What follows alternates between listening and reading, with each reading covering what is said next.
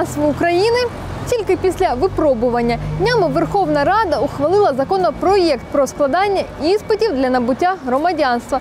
За новими правилами, усі, хто претендує на паспорт з тризубом, має скласти іспит з української мови, історії України та основ конституції. Чи достатньо таких іспитів та за яких умов варто надавати громадянство України? Ходімо питати дніпрян. Українську мову в першу чергу повинна знати, українську історію, ну, факти, які пов'язані з Україною, е, мабуть, там, я не знаю, якісь. Ну, історію України, по-перше, е, культуру українську, ну там вже не знаю, пісні, вірші, е, письменників.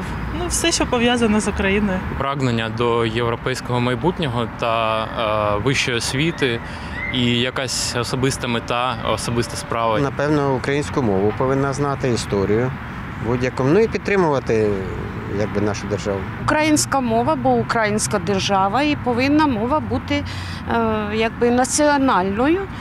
Е, І так, якось так. І од- один одного піддержувати. Я думаю, що, по-перше, задонатити на ЗСУ. І цей донат повинен бути ну, якийсь такий межі. Якщо він задонатить на цей на внутрішній, то він хай та і не складає той екзамен, і сам буде творити ту історію. Потрібно знати мову раз, е, знати історію своєї країни. Так? Ну, Вот. Ну, должна бути якась е, какой-то внутрішній стержень, яка, якась така любов, щоб хотілося приумножати, а не розрушати. Ну, якось так. Язык должны все знать. Язык, я считаю, в этом.